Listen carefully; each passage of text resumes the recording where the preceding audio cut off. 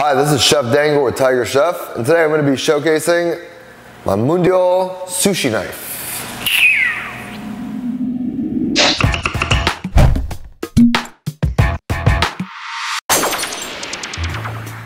All right, let's take a closer look at this knife. Uh, first, we got a really nice bamboo handle. It's uh, really comfortable. Uh, the other thing is this blade is actually, it's, it's called a one-sided blade. Um, if you look, this end is flat.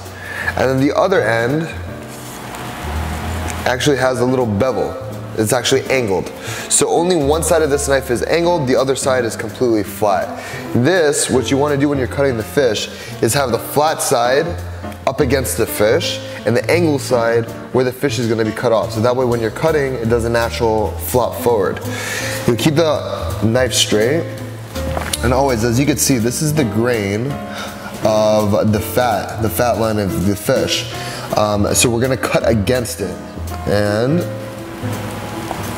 that's how you cut some uh, sashimi. And it's extremely sharp, it just slides right through. Could even do one of these in a one full stroke. I don't even need to take more than one stroke. It's just a very efficient knife. And just like that, you have sashimi. So listen, if you need a knife for sushi and you're just getting into it, this is an amazing knife.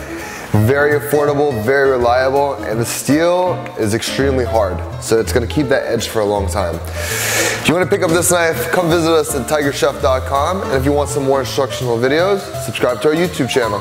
Thanks guys.